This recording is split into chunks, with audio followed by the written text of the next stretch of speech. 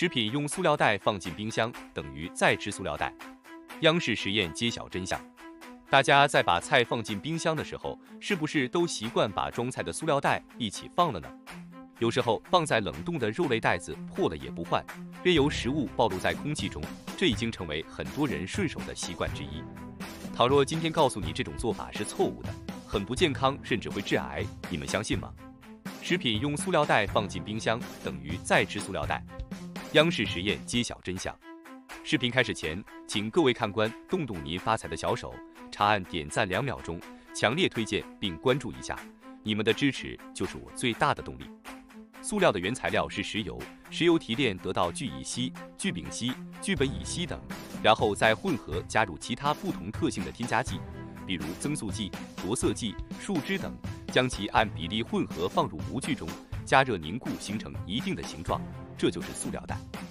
为了探究把塑料袋放进冰箱里会不会致癌，央视节目做过一个实验，将几种蔬菜分别放入不同的食品保鲜袋中，在冰箱中保存相同时间，然后进行蔬菜中塑化剂的检测。最终检测结果表明，这些蔬菜在塑料袋中不含增塑剂。不过，该实验使用的塑料袋均为食品级塑料袋，成分稳定安全。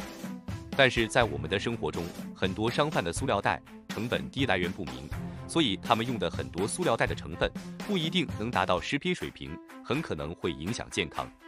虽说把食品级塑料袋放在冰箱里没有致癌风险，但日常生活中也最好不要这样做，主要有两个原因：一、塑料袋密封性差。塑料袋本身密闭性很差，再加上很多人在放蔬菜的时候不把袋口完全封住，如果直接放进冰箱里，冰箱里的一些微生物很容易在食品表面随意生长，出现安全隐患。二、塑料袋冷冻容易破裂，如果将塑料袋直接放入低温冷冻室，食物和塑料袋可能会粘在一起，特别是肉类，但被冷冻的塑料袋会变脆。如果直接用暴力将两者分离的话，很可能会在食物的表面残留坏了的塑料袋，吃了之后对健康不太好。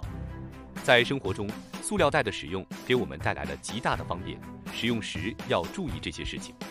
一、不用塑料袋装熟食，在塑料袋里放入熟食时，最好不要选择有颜色的。彩色塑料袋多由回收废塑料制成，直接放入食品容易导致食物变质，也可能导致食物中毒。二不使用塑料袋保鲜果蔬，塑料袋透气性非常差，不建议日常使用塑料袋直接放新鲜水果和蔬菜，特别是放入冰箱保持新鲜时，请务必更换透气性好的保鲜袋。如果长期把蔬果闷在塑料袋里，新鲜度会大幅下降。三塑料袋不要用微波炉加热。德州学院化工学院吕教授表示，塑料制品是一种不耐高温的物质，直接把塑料放在微波炉里。里面的增速剂会挥发，这些物质长期大量食用对健康非常不利。很多人以为冰箱是保险箱，其实很多疾病都是因为吃了冰箱里不新鲜的东西和被污染的食品。不建议把这些食物放在冰箱里。一、香蕉，香蕉皮中含有大量的酚类物质和多酚氧化酶，当表皮细胞受到低温破坏而破损时，这些物质就会从香蕉表皮飞出，聚合成黑色素。